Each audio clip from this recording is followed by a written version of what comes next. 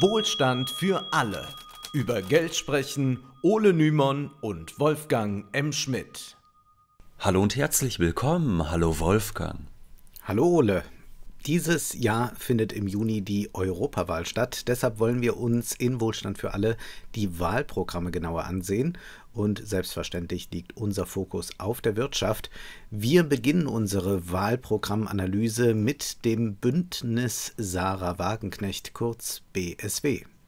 Es ist nicht alltäglich, dass sich eine neue Partei gründet und vor allem, dass sich eine neue Partei gründet, die so viele Aussichten auf äh, Erfolg hat, dass es nun im linken Spektrum vier Parteien gibt. SPD, Grüne, Linke und BSW ist zum einen Ausdruck von Pluralität, zum anderen deutet es aber natürlich auch auf eine Zersplitterung hin. Es ist das Gegenteil von dem, was Wolfgang Abendroth einst vorschwebte, der sich in den 50er Jahren eine größtmögliche Binnenpluralität innerhalb der SPD wünschte. Man kann jetzt viele Gründe dafür anführen, warum Wagenknecht eine eigene Partei gegründet hat und sicherlich spielen dabei, wie immer in der Politik, die Egos der Politiker eine Rolle. Ohne jetzt aber nach Schuldigen zu fragen sozusagen, können wir konstatieren, linke Politik, deren gemeinsamer Konsens Gleichheit, Frieden und Ökologie ist, tritt gespaltener denn je in Erscheinung, was es erschwert, diese Ziele zu verfolgen, da die vier genannten Parteien sich allesamt als Konkurrenten gegenüberstehen. An dieser Stelle möchten wir auf unsere Paywall-Inhalte hinweisen. Am vergangenen Wochenende ist unsere WFA-Literaturfolge erschienen, in der wir uns kritisch mit Asterix und Obelix und der Wirtschaft der Gallier auseinandersetzen. Wir lesen Obelix GmbH und Co. KG. Und im Februar werden wir dann über Michael Endes Kinderbuchklassiker Momo sprechen. Die Literaturfolge sowie die Speakeasy Bar, in der wir eure Fragen beantworten, könnt ihr hören, wenn ihr ein Abo bei Patreon oder Steady abschließt. Ihr könnt dann die Folgen aber über den von euch präferierten Podcatcher hören. Es ist sehr unkompliziert und ihr unterstützt auf diese Weise unseren Podcast. Vielen Dank. Dass das Konzept der Volksparteien erodiert, ist seit mehr als zehn Jahren zu beobachten. Auch auf der konservativen Seite ist dies zu sehen, wenngleich dort Lagerkämpfe lange nicht so erbittert wie unter Linken geführt werden. Die BSW scheint jedenfalls eine Lücke im Wählermarkt erkannt zu haben, die von den bisherigen Parteien nicht abgedeckt wurde. Damit könnte sie die AfD empfindlich schwächen, denn nun gilt die ohnehin faule Ausrede nicht mehr, dass jemand aus Protest die AfD wählt und nicht, weil er die AfD gut findet. Diese Leute haben nun die Möglichkeit, die Wagenknecht-Partei zu wählen, die, wie wir sehen werden, sich doch sehr deutlich von der AfD unterscheidet. Ja, Protest kann man jetzt auch anders signalisieren. Wir wollen uns auf das Programm konzentrieren. Wir werden hier keine Exegese betreiben, wann, wo Wagenknecht irgendwas in Interviews gesagt hat. Zunächst heißt es im Programm, die Sprache des Krieges sei zurückgekehrt und mit ihr der Irrglaube, dass Sicherheit allein militärische Aufrüstung bedeutet. Da heißt es, das wollen wir ändern, indem wir Europa erneut zu dem Friedensprojekt machen, als das es einst konzipiert worden war. Weiter steht dann da geschrieben, wir brauchen Frieden in Europa auch, um unsere eigenen Interessen in der Welt zu fördern, um unseren Wohlstand und unsere sozialen Errungenschaften zu schützen, um unsere Demokratie und unser rechtsstaatliches System zu verteidigen und um unsere Wirtschaft nicht durch Sanktionen, die Verteuerung von Energie und Rohstoffen sowie die Verknappung des Handels mit den Wachstumsmärkten Asiens zu schwächen. Wir können hier schon mal festhalten, dass sich die neue Partei nicht fundamental von den anderen unterscheidet. Zwar werden wir gleich sehen, dass man unterschiedliche Vorstellungen davon hat, was in Bezug auf Russland zu tun ist, aber generell sieht man die EU als ein Projekt, das der Stärkung nationaler Wirtschaftsinteressen dienen soll. Du hast ja eben ganz oft unser vorgelesen, mhm. Wolfgang. Das sagt ja schon sehr viel aus. Wir brauchen Frieden in Europa, um unsere eigenen Interessen in der Welt zu fördern, unseren Wohlstand, unsere sozialen Errungenschaften. Also das ist eine sehr nationale Perspektive. Es wird kein Internationalismus unterstützt, bei dem Staaten nicht mehr als Konkurrenten gegenüberstehen, sondern man geht vom nationalstaatlichen Status quo aus und will diesen nun reformieren.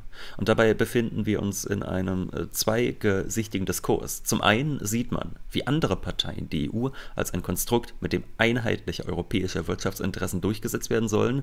Das heißt, die EU tritt in einen Wettbewerb innerhalb einer multipolaren Weltordnung als Machtblock.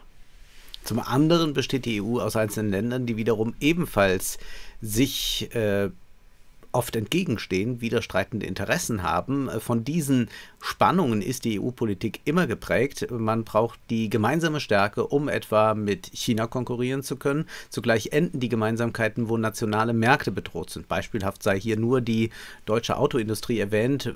Für Deutschland brät man in Brüssel dann doch nochmal eine extra Wurst. Wir haben es mit einem doppelten Nationalismus zu tun. Also Nationalismus in dem Sinne, es werden eigene nationale Interessen über die Interessen anderer Länder versucht zu stellen. Es, äh, um das gleich zu sagen, die anderen Länder machen das wiederum auch. Ja, also es ist nicht so, als würden die anderen um uns herum äh, internationalistisch agieren.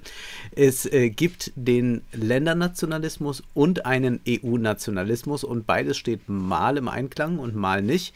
Die BSW konstatiert, dass Europa und insbesondere Deutschland im Vergleich zu Südostasien und auch den USA abfällt. Dieser Eindruck deckt sich ja auch mit Zahlen, die besagen, dass die deutsche Wirtschaft auch in diesem Jahr um 0,5 Prozent schrumpfen wird. Das mit der Gründung der EU gegebene Versprechen von Wohlstandswachstum stimmt damit nicht mehr. Und nur die formale Freiheit allein genügt auch nicht, heißt es im Programm. Grenzenlose Reisefreiheit nützt denen wenig, die sich kaum noch einen Urlaub leisten können, steht dort geschrieben. Die BSW kritisiert daraufhin die immer stärker werdende Tendenz zur Zentralisierung. Die Integration Europas in Richtung eines supranationalen Einheitsstaats hat sich als Irrweg erwiesen, der Europa eher spaltet als eint. Ländern werde von Brüssel aus immer mehr etwas aufgezwungen, was aber letztendlich den Hass auf die EU nur weiter schüre. Europa sei nicht so einheitlich, wie man in der EU glauben will, und deshalb folgt daraus für die BSW, der kleinste gemeinsame Nenner ist oft schlechter als ambitionierte nationale Regelungen.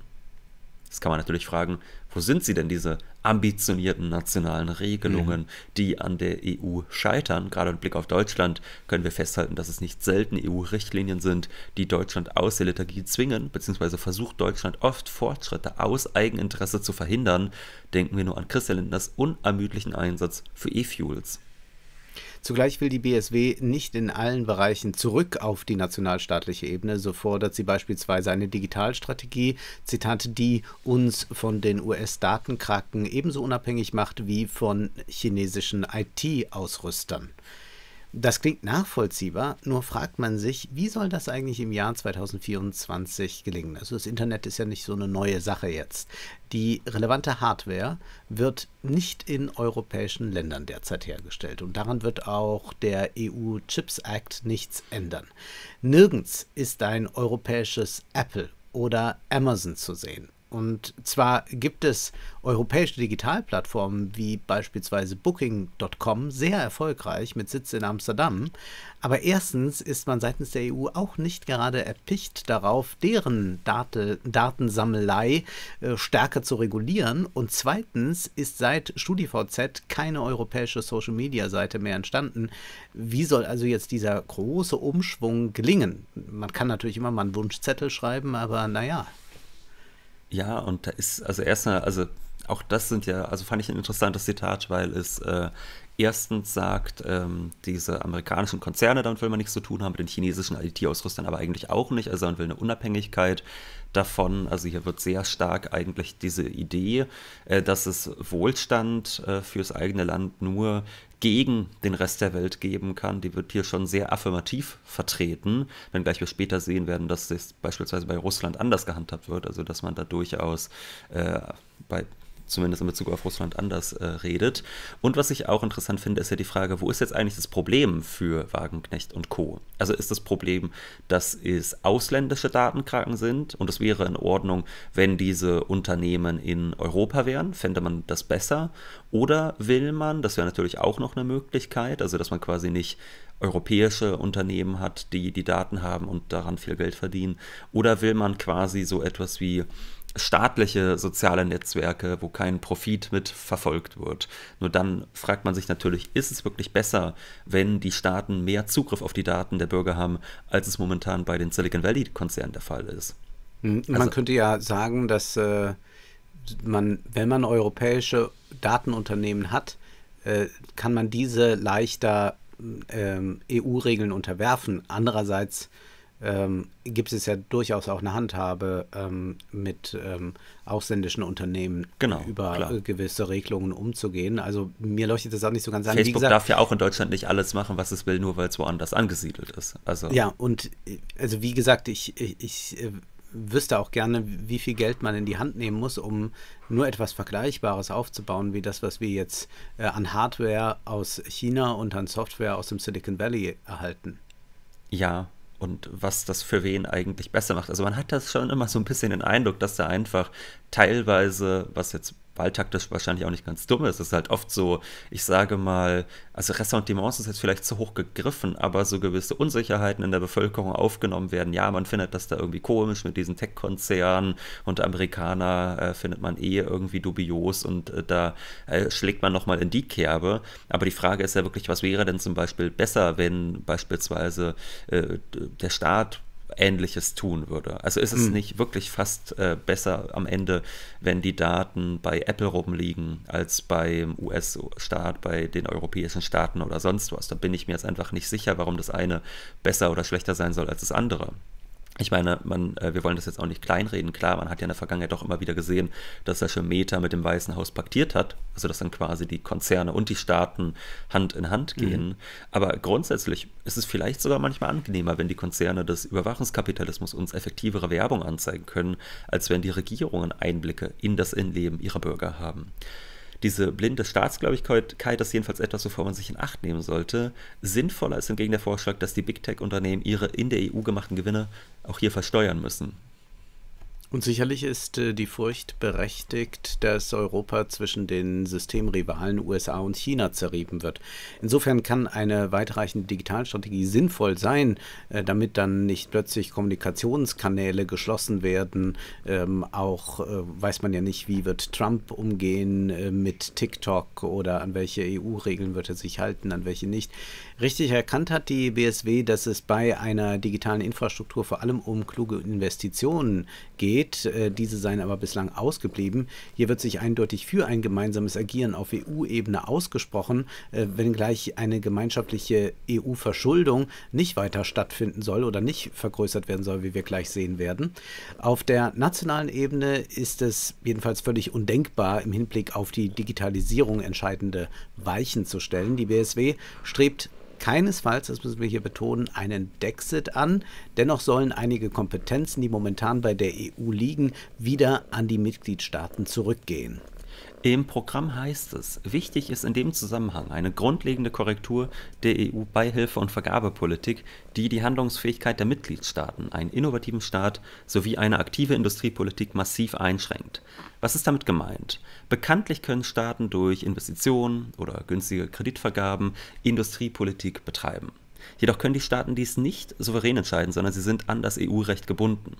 Im Vertrag der Europäischen Union kann man nachlesen, soweit in den Verträgen nicht etwas anderes bestimmt ist, sind staatliche oder aus staatlichen Mitteln gewährte Beihilfen gleich welcher Art, die durch die Begünstigung bestimmter Unternehmen oder Produktionszweige den Wettbewerb verfälschen oder zu, zu verfälschen drohen, mit dem Binnenmarkt unvereinbar, soweit sie den Handel zwischen Mitgliedstaaten beeinträchtigen. Ja, klingt nicht so einfach, aber heißt mit anderen Worten, durch staatliche Eingriffe darf der Wettbewerb auf EU-Ebene nicht verzerrt werden, sonst verschafft sich ein Land äh, gegenüber einem anderen Land immense Vorteile. Was der Staat tut, muss also marktgerecht sein. Ob die staatliche Unterstützung, etwa die Gewährung eines günstigen Kredits oder äh, das Freigeben von Subventionen, marktgerecht ist, wird im Zweifelsfall mit einem Market Economy Operator Test geklärt. Man will so herausfinden, ob ein privater Akteur, zum Beispiel Kreditgeber, Investor, genauso gehandelt hätte.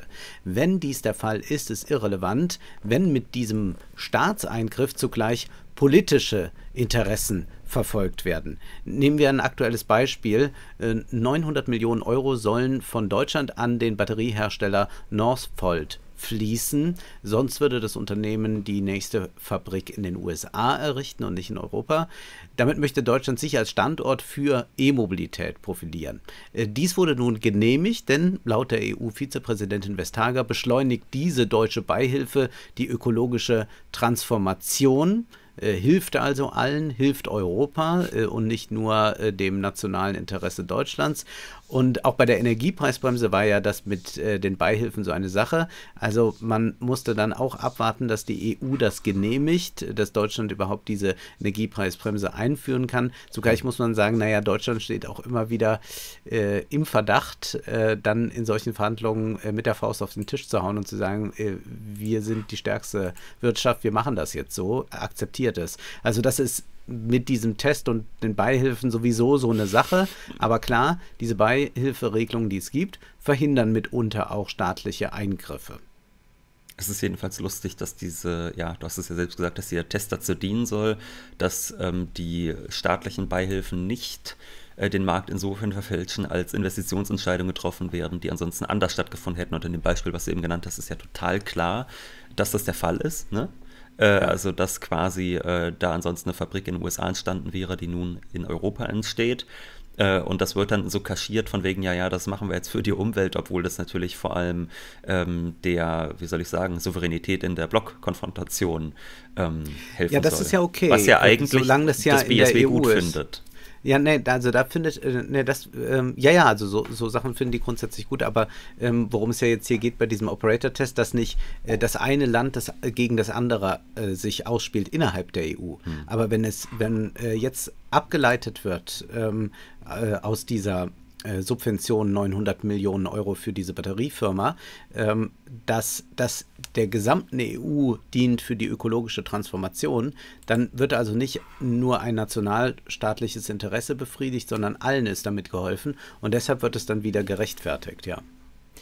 Die BSW gibt sich damit jedenfalls nicht zufrieden, sondern möchte bestehende Ausnahmeregeln stärken und sie will langfristig das Beihilfeverbot aus den EU-Verträgen allein auf extremen Subventionswettbewerb oder auf extreme Diskriminierung im Binnenmarkt beschränken. Heißt, die Nationalstaaten sollen wieder häufiger ihr eigenes Süppchen kochen. Man kann diese nationale Stärkung natürlich auch als Stärkung des Wählerwillens werten, der schließlich in den Landesparlamenten repräsentiert ist. Außerdem sollen kommunale Aufträge an regionale Unternehmen gehen. Man strebt eine Reform des Vergaberechts an, vor allem sollen die Schwellenwerte für Dienstleistungen und Bauaufträge substanziell erhöht werden, sodass Kommunen nicht alle Projekte EU-weit ausschreiben müssen. Das heißt, auch da findet eine Renationalisierung der Wirtschaft statt. Ja, diese EU-Schwellenwerte lagen 2022-2023 für Bauleistungen und Konzessionsvergaben bei 5,4 Millionen Euro, für allgemeine Aufträge oberster und oberer Bundesbehörden bei 140.000 Euro.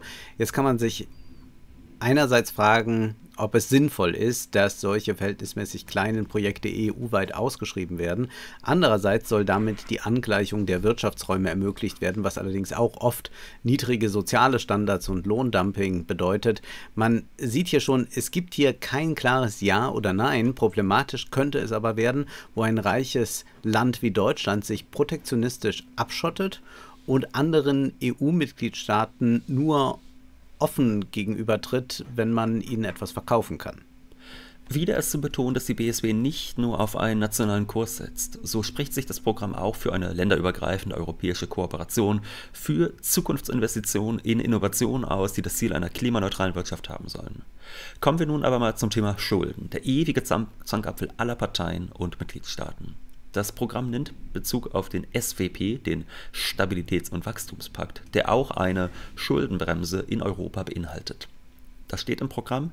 Der SWP sieht strikte Obergrenzen für die staatliche Verschuldung, 60% des BIP, und die jährliche Nettokreditaufnahme, 3% des BIP, vor.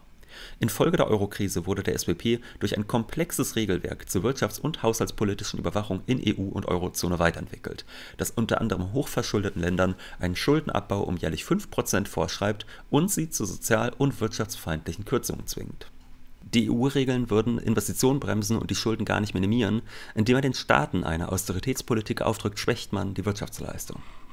Kritisiert wird hier die Schuldenregel. Dennoch sei billiges Geld auch problematisch. Niedrigzins- und Schuldenpolitik verhinderten zwar Staatspleiten, äh, Staatspleiten aber sorgten auch für Vermögenskonzentrationen, gerade im Immobilienmarkt. Darüber haben wir auch häufig gesprochen. Die niedrigen Zinsen haben dazu geführt, dass Reiche sich Unsummen leihen können und ihr Vermögen so rasch vervielfachen. Zugleich sehen wir aber jetzt, wo höhere Zinsen da sind, äh, dass das auch nicht die Welt gleicher macht. Jetzt bauen zwar die Reichen auch weniger, aber die Durchschnittsverdiener können sich Wohneigentum gar nicht mehr leisten. Interessanterweise kritisieren kritisiert dies auch das äh, BSW-Programm. Äh, die Zinswende würge die Wirtschaft ab. Zwar müsse man die Inflation bekämpfen, effektiver und sozialer wären, aber Investitionen in die Energiekapazitäten, selektive Preisdeckel und eine Schärfung des Kartellrechts. Man verweist darauf, dass man so in den USA, in China, Japan und auch in einzelnen EU Mitgliedstaaten vorgegangen ist. Das klingt also vernünftig und wurde ja auch von unorthodoxen Ökonomen ähnlich vorgetragen. Aber wie ist es jetzt nochmal mit den Schulden? Haben wir es hier mit einem MMT-Programm zu tun? Nun, gefordert wird die Einführung einer goldenen Investitionsregel. Es geht hier wohlgemerkt nicht um konsumtive Ausgaben, sondern um Investitionen. Was aber wird über diese Regel gesagt? Zitat, sie würde öffentliche Investitionen zur Modernisierung der Infrastruktur, zur Stärkung der öffentlichen Daseinsvorsorge sowie zur Förderung von Zukunftstechnologien aus der Defizitrechnung herausnehmen. Das ist durchaus ein MMT-Aspekt, insofern mhm. die Schulden für die genannten Bereiche als öffentliches Vermögen angesehen werden. Das heißt, man bleibt bei einer Schuldenregel, lässt aber quasi Sondervermögen bzw. Sonderverschuldungen etwa für den öffentlichen Nahverkehr zu. Die Schulden, die dafür aufgenommen werden, werden nicht von einer Schuldenbremse berührt. Das ist gewiss ein Aspekt, dem Teile der SPD wie auch der Grünen zustimmen würden. In der Presse wird häufig der nationale Pfad der Wagenknecht-Partei herausgearbeitet. Dieser hat aber auch zwei Seiten, insofern es nicht nur darum geht, die EU zu schwächen, sondern den Ländern auch mehr Spielräume zu geben. So spricht man sich für eine Abschaffung des sogenannten europäischen Semesters aus, das 2011 eingeführt wurde und es der EU ermöglicht, bevor im jeweiligen Landesparlament über eine Reform abgestimmt wird, diesem Hinblick auf die nationale Haushaltsperspektive zu prüfen und mehr Sparpolitik dann einzufordern fordern. Äh, fällt jetzt dieses europäische Semester weg, bedeutet das mehr Souveränität für die einzelnen Landesregierungen. Und äh, das ist durchaus progressiv, denn seit Monaten erleben wir ja, wie äh, Christian Lindner für eine Einhaltung der Schuldenregel auf EU-Ebene Stimmung macht, was natürlich eine Schwächung der jeweiligen Landespolitik bedeutet und auch der jeweiligen Investitionen, die da getätigt werden sollen. Nicht verhehlen sollte man allerdings, dass die BSW nicht bloß progressiv über Schulden nachdenkt. Man könnte ja zum Beispiel für mehr gemeinschaftliche Verschuldung auf EU-Ebene eintreten, da ja viele Probleme, gerade im Blick aufs Klima, nur gemeinschaftlich zu bewerkstelligen sind. Das Gegenteil will die BSW. Die EU soll nicht noch mehr Eigenmittel erhalten. Zitat: Immer mehr Gelder nach Brüssel zu transferieren, ist der falsche Weg. Vielmehr sollen EU-Mitgliedstaaten durch die Reform der europäischen Schuldenbremse mehr eigene Spielräume erhalten, um zu investieren. Das setzt aber voraus, dass dies die einzelnen Länder auch wollen. In gewisser Weise ist das Programm auch Ausweis einer Desillusionierung. Man glaubt eh nicht mehr daran, dass die EU ein größeres Zukunftsprojekt sein könnte. Und eine Europa-Utopie liest man dementsprechend hier nicht. Fairerweise wird die Utopie sonst auch nur noch in Festreden beschworen. Die Realpolitik zeugt davon tatsächlich gar nicht. Folglich sagt die BSW auch, dass der Ausgleich von wirtschaftlichen Niveauunterschieden zwischen den Ländern, der durch EU-Zahlungen angestrebt wurde, nicht funktioniert hat. Ähm, deshalb sollen die Länder ihre jeweiligen nationalen Förderprogramme erhöhen. Das ist in der Tat ein leises Servus an die EU zumindest für diejenigen, die von einem Superstaat Europa geträumt haben, was jedoch wenige taten. Und ein solcher birgt ja auch Probleme, wo beispielsweise EU-Richtlinien Tariflöhne oder Mitbestimmungen in Betrieben unterlaufen, wenngleich die Partei weiterhin eine einheitliche europäische Unternehmensbesteuerung anstrebt. Da sollen auch gemeinsame Projekte verfolgt werden.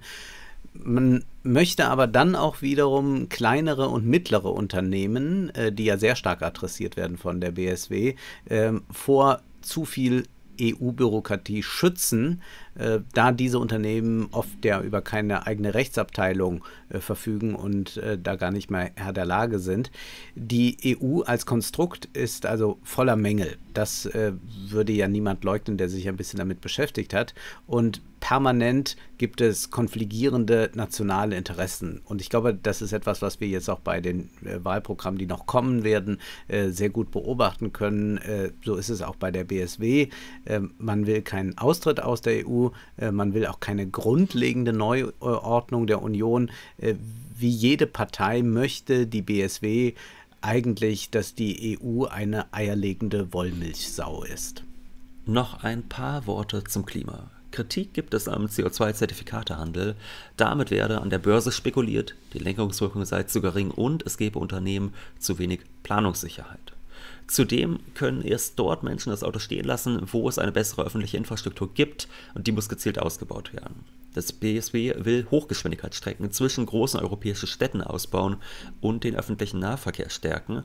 Auch hier stellt sich dann die Frage, inwiefern wird das eigentlich wirklich leichter, wenn jeder Staat sein eigenes Süppchen kocht? Also mhm. gerade wenn wir über ähm, ja, äh, Verkehrsvorhaben sprechen, die über nationale Grenzen hinausgehen, ist es ja ohnehin so, dass das eine Sache eigentlich sein muss, wo die Staaten sich zusammentun und gemeinsam investieren, äh, warum man das nicht gleich auf europäischer Ebene ansiedelt.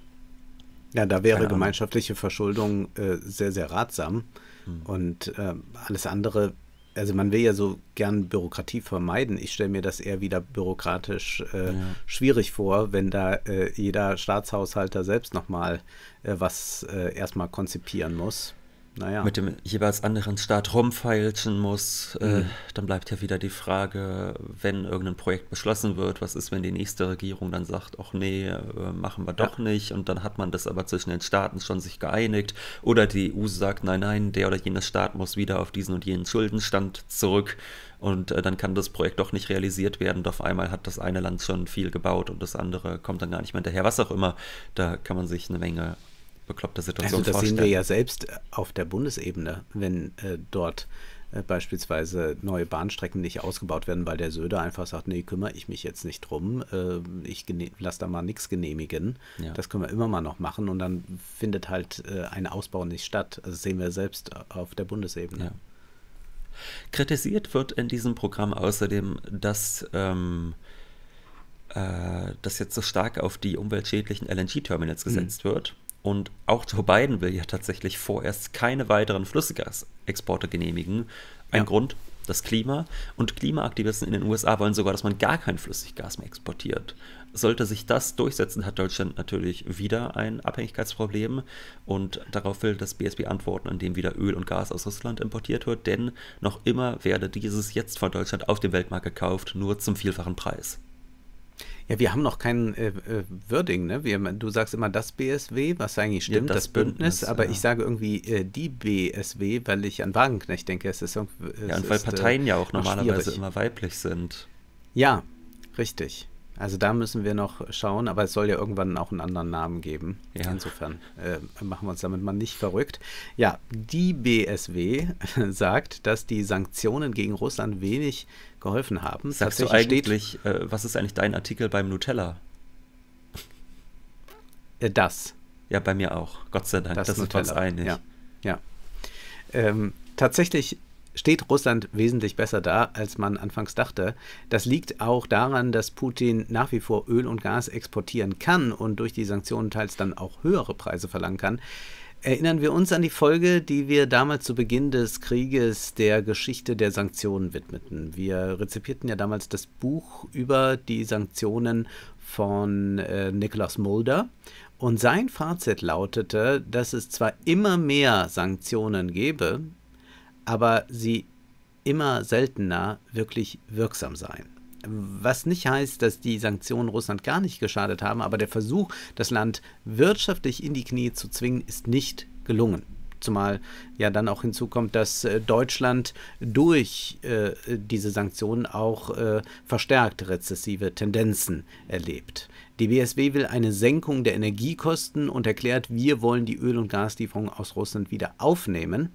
Äh, das ist allerdings äh, klimapolitisch mehr als heikel. Äh, man muss ja auch der Ehrlichkeit halber sagen, es war ja auch Putin, der sie gestoppt hat. Ja, es ist ja nicht mhm. einfach so gewesen, dass Putin sagte, ich würde gern weiter liefern. Das war auch nicht der Fall. Und die Gefahr ist ja, dass wenn wir jetzt wieder diese günstige Energie bekommen, man sich diese wieder für ein bis zwei Jahrzehnte sichert, denn das ist ja dann nicht was, was man für sechs Monate macht. Und das könnte ja bedeuten, dass der Ausbau der Erneuerbaren wieder zum Erliegen kommt. Man kann, wenn man klug ist, sicherlich nicht in ewiger Feindschaft zu Russland leben. Äh, und der erneute Export von Gas und Öl würde sicherlich zum Verhandlungsgegenstand dabei werden. Da würden auch Bedingungen in Bezug auf die Ukraine gesetzt. Und da ist natürlich, glaube ich, auch bei Wagenknecht immer diese Idee von Wandel durch Handel wenngleich ich da auch denke, dass es eine gewisse Naivität einfach hat. Also ich meine, du hast es eben selbst gesagt, Putin hat ja, obwohl es in seinem Interesse war, dann irgendwann die Lieferung gestoppt ähm, und hat also gesagt, das ist ihm anscheinend weniger wichtig, als den Krieg derzeit zu führen. Das scheint da auch bislang nicht von abzurücken, so äh, dass ich finde, dass, ähm, also auch wenn man diese friedenspolitische Perspektive jetzt sympathisch finden mag, dass es natürlich immer so ein bisschen was hilflos, äh, naives hat, solange tatsächlich Putin selbst ja auch überhaupt gar kein Interesse daran hat, da ähm, entgegenzukommen. Ja, Und man kann natürlich überlegen, welche, also klar, ein Frieden wird äh, meistens mit äh, irgendeinem Kompromiss äh, geschlossen und äh, das bedeutet, dass man eigentlich zwei Verlierer äh, hat und beide wollen aber nicht als Verlierer rausgehen. Und so kann man natürlich sowas in die Waagschale werfen und über solche neuen Abkommen äh, wieder eine Friedenssicherung herstellen und dem anderen damit Vorteile versprechen, im Gegenzug dafür etwas verlangen. Das ist dann höhere Diplomatie. Das kann man ja auch in dem Sinne nicht hm. als Konzept jetzt mal schnell ausarbeiten und dann geht man damit rein, sondern ja, das ist ein, ein sehr komplexes Gefüge. Ähm, allerdings glaube ich, dass ähm, man schon erkennen muss, dass äh, wir es generell mit rationalen Akteuren zu tun haben und äh, möglicherweise sind, äh, werden einige Dinge nicht äh, gerade verfolgt, die ähm, vielleicht äh, diesen äh, Krieg schneller stoppen könnten. Insofern, ähm, ja, ja das aber das sicherlich, ist, ja. aber, aber das ist jetzt ähm, natürlich mal so da, dahin gesagt, ja.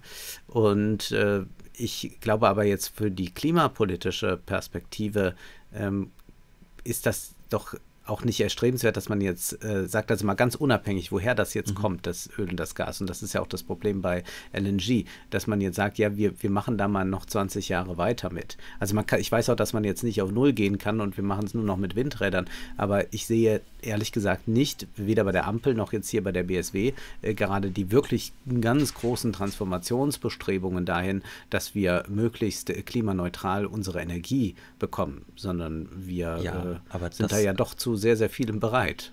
Aber da würde ich ja auch sagen, dass Sarah Wagenknecht einfach keine Politikerin ist, die jemals signalisiert hat, dass sie das Klimathema wahnsinnig am Herzen liegen würde. Das, glaube ich, kann man auch mal so festhalten. Mhm. Also das ist ja schon immer so sinngemäß der Vorwurf, äh, Deutschland äh, macht sich zum Deppen der Welt, indem man beispielsweise durch Sanktionen ähm, die Preise verteuert und dem Klima ist damit überhaupt nicht geholfen und deshalb soll man es einfach so machen wie vorher. Das sind ja dann gerne die äh, Argumente. Also eigentlich wird äh, der Klimawandel immer nur dann als Problem äh, aufgerufen, wenn man sagt, äh, wenn man es nicht genauso macht, wie man es eh schon immer gemacht hat, hilft es dem Klima doch auch nicht. Aber darüber hinaus ist da eigentlich auch wenig klimapolitisch interessant. Naja, klar ist jedenfalls, dass man durch die Sanktionen Aggression gegen Russland viele neue Allianzen mit anderen Autokraten und Diktatoren eingegangen ist. Das heißt, mhm. Öl und Gas bleiben so oder so ein schmutziges Geschäft in jeder Hinsicht.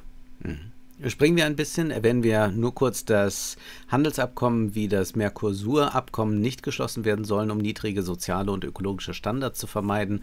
Auch sollen nicht länger Konzerne mit Hilfe von Schiedsgerichten Staaten verklagen dürfen, wenn dann die Profite gefährdet sind.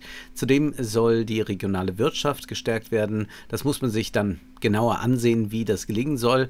Äh, es werden die Agrarsubventionen problematisiert und wenn man sich das mal vorstellt, dass die Agrarsubventionen der größte Einzelposten im EU-Haushalt sind und äh, damit aber selten die kleinen Landwirte unterstützt werden, dann äh, merkt man, dass da Handlungsbedarf ist. Also um das mal klar zu machen, das meiste Geld fließt in Deutschland in Agrarholdings von diesen Subventionen.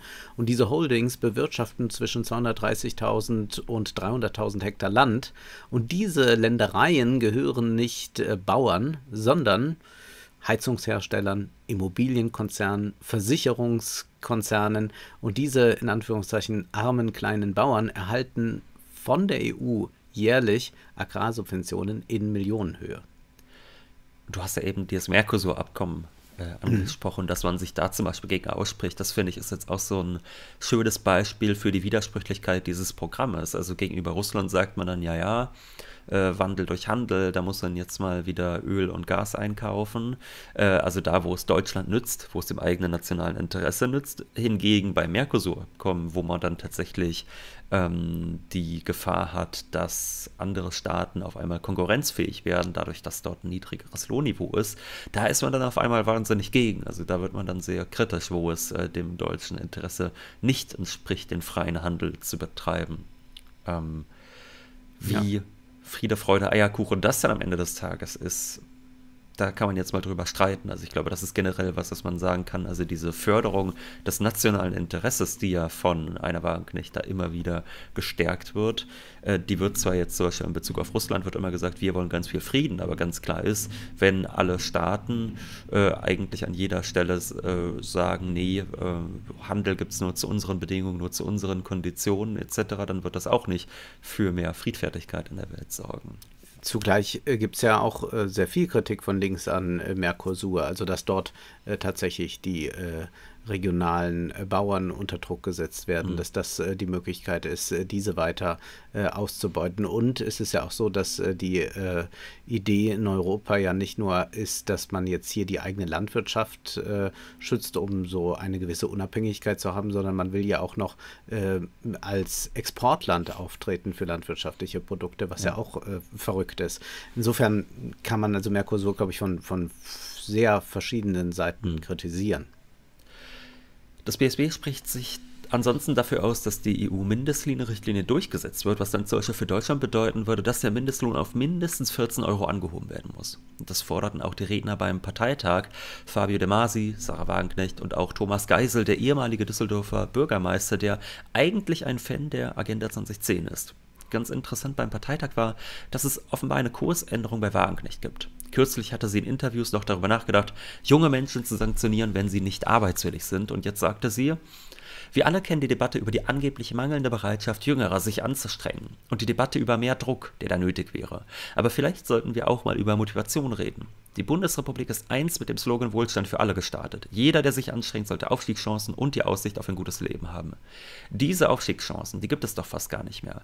Wer arm geboren ist, der bleibt fast immer arm. Und dann wundert man sich, wenn junge Menschen, die schon in ihrer Kindheit immer nur verzichten mussten, die in maroden, runtergekommenen Schulen lernen mussten und die ein Bildungssystem erlebt haben, das noch nicht mal in der Lage war, ihnen halbwegs korrekt Lesen, Schreiben und Rechnen beizubringen, wenn diese jungen Menschen mit wenig oder gar keiner Motivation ins Leben starten. Wagenknecht bestätigt hier noch einmal Oliver Nachtweis Buch Die Abstiegsgesellschaft. Interessanterweise aber werden dann Eigentumsfragen und Umverteilungsfragen allenfalls gestreift. Also man möchte zwar Tech-Konzerne an die Kandare nehmen und man kritisiert auch mitunter die Quants und Klattens, doch nicht allein die Superreichen sind ja das Problem. Immerhin spricht man sich für eine EU-weite Mindestbesteuerung von Unternehmen aus. Die derzeit global angestrebten 15 Prozent seien aber viel zu gering. Man braucht 25 Prozent steht im Programm. Mindeststeuer für Unternehmen falsch sei auch dieser Unterbietungswettbewerb innerhalb der EU, so zum Beispiel mit dem Niedrigsteuerland Irland. Allein der deutsche Fiskus könnte, wenn man Steuerschlupflöcher und Steueroasen äh, schließt und austrocknet, 100 Milliarden Euro Mehreinnahmen haben. Und außerdem möchte man eine Finanztransaktionssteuer. Sehr viel, was in diesem Programm steht, könnte so auch im Wahlprogramm der verbliebenen Linkspartei stehen. Vergleiche mit der AfD-Programmatik sind aber tatsächlich unseriös. Kommen wir zum Schluss zum Knackpunkt. Zum Thema Migration heißt es, wir wollen die unkontrollierte Migration in die EU stoppen, den Schlepperbanden das Handwerk legen und in den Heimatländern Perspektiven schaffen. Das wäre so bei der Linkspartei nie zu lesen. Die Rede von den Schlepperbanden ist außerdem irreführend. Es gibt natürlich Schlepper und sicherlich nutzen diese die Not der Menschen aus, aber das liegt ja daran, dass man diesen Markt hat entstehen lassen, indem sich Europa immer weiter abschottet. Schlepper sind oft der einzige Weg, um nach Europa zu gelangen und man fragt sich auch, wie die Perspektiven in Heimatländern aussehen sollen, wenn dort Klimakatastrophen und Kriege toben. Will man einfach ein paar Brunnen bauen? Äh, das Gegenteil von linker Politik spricht aus äh, folgendem Satz. Die Asyl- und Prüfverfahren zum Schutzstatus sollen daher an der EU-Außengrenze, an den EU-Außengrenzen und in Drittländern erfolgen. Und hier muss man auch leider konstatieren, dass dies bereits Konsens in der Ampelkoalition ist. Alle, inklusive der Grünen, haben sich in der Migrationsfrage weit nach rechts bewegt. Wir wollen uns hier auf das Ökonomische konzentrieren. Und äh, bedenken wir, dass die BSW eine Politik mit Vernunft anstrebt. Was aber ist denn unvernünftiger als folgendes? Die europäischen Länder sollen äh, laut BSW ihre Anwerbeprogramme im globalen Süden einstellen, um einen Braindrain zu verhindern. Der Fachkräftemangel soll durch verbesserte Ausbildung und höhere Löhne behoben werden. Nun, höhere Löhne und gute Ausbildung, das ist ja zu befürworten, aber sie können ja nicht über die demografische Realität hinwegtäuschen. Eine europäische Frau bekommt im Schnitt anderthalb Kinder. In Spanien sind es 1,2 Kinder und selbst im kinderfreundlichen Frankreich sind es 1,8 Kinder. Und zugleich gehen wir einer Vergreisung des Kontinents entgegen. Allein in Deutschland gehen Hunderttausende Boomer jedes Jahr in Rente. Es werden Arbeitskräfte generell und nicht nur speziell Fachkräfte fehlen. Und zugleich gibt es Dutzende Länder, die ihren Kindern keine adäquate Ausbildung ermöglichen können. Wenn man es einmal kühl wirtschaftlich formulieren will, wird wertvolles Potenzial verschwendet. Und das ist sicherlich nicht vernünftig. Es bleibt mhm. natürlich nur eine Frage, nämlich äh, das BSW sagt ja, man will ja. Perspektiven in Heimatländern entstehen lassen. Und da ist natürlich jetzt äh, immer der Knackpunkt, ist das eigentlich ernst gemeint? Also ist es so, dass die Wagenknecht, kann ja sein, dass sie einfach äh, sagt, ähm, eigentlich hat sie keine Lust auf die Flüchtlinge und deshalb braucht man dann auch dieses Lippenbekenntnis, ja, ja, aber wir machen für die auch was in den Heimatländern. Aber klar, wenn das so wäre und wenn man dort äh, eine Wirtschaft zum Florieren bringt, wie auch immer man das machen will, dann wäre es ja in der Tat ähm, eine, äh, ein Problem, wenn man dann sagt, man wirbt dort die Menschen ab. Dann kann man nicht einfach sagen, das ist äh, unvernünftig, wenn man die Leute nicht abwirft, so, äh, abwirbt, sondern dann ist es ja in der Tat so, dass der eine oder der andere Staat darunter leidet. Wenn es aber natürlich de facto so ist, dass das sowieso nicht passiert, dann kann man so auch nicht argumentieren. Ja, man müsste dann eigentlich über eine gemeinschaftliche Verschuldung in der EU nachdenken, um Rieseninvestitionsprogramme in äh, den Ländern, aus denen sehr viele Flüchtlinge kommen, äh, herz, äh, zu, zu, äh, in Gang zu setzen. Und da sehe ich jetzt äh, kein wirkliches Interesse. Äh, zudem handelt es sich ja auch um einige Länder, da geht es nicht darum, dass die mal äh, eine florierende Wirtschaft brauchen, sondern, also das wäre auch gut, wenn die Länder das hätten, aber da herrscht Krieg. Oder es gibt auch sehr viele Regionen, äh, die vom Klimawandel derart bedroht sind, dass da auch nicht äh, beizukommen ist mit bisschen Wirtschaftshilfe, sondern da werden Leute äh, dieses Land oder diese Region verlassen müssen. Also das muss man mhm. schon, glaube ich, in einer, in einer größeren Perspektive sehen der Fairness halber sei aber auch gesagt, dass äh, die bürgerlichen Parteien auch bis heute äh, nicht verstanden haben, äh, wie vernünftig ökonomische Migration ist. Äh, wir können jedenfalls festhalten, dass das EU-Programm der BSW trotzdem keine AfD-Variation ist. Scharf muss man die angestrebte Migrationspolitik kritisieren, die übrigens beim Parteitag fast gar nicht thematisiert wurde. Dort konzentrierte man sich auf die soziale Frage und auf die Friedenspolitik. Das BSW strebt auch keinen Dexit an, setzt sich aber für mehr nationale Souveränität in Wirtschaftsfragen ein. Sinnvoll scheint vor allem die neue goldene Schuldenregel zu sein, die tatsächlich mehr Investitionen ermöglicht, auch wenn man sich zu einer europäischen Schuldenpolitik nicht durchringen kann. Sowohl die FDP als auch die Union dürften damit ihre Schwierigkeiten haben. Mhm. Nun möchten wir noch darauf hinweisen, dass wir am 9. Februar gemeinsam mit Jean-Philippe Kindler in Hannover auftreten. Und am 13. Februar werde ich in Berlin mit Timon Kalkaleiter über seinen neuen Roman Heilung sprechen. Jetzt ist aber erst einmal Schluss für heute, denn Zeit ist Geld. Prosit. Das war Wohlstand für alle. Ihr könnt uns finanziell unterstützen über paypal.me-ole und Wolfgang oder über die in der Beschreibung angegebene Bankverbindung. Herzlichen Dank.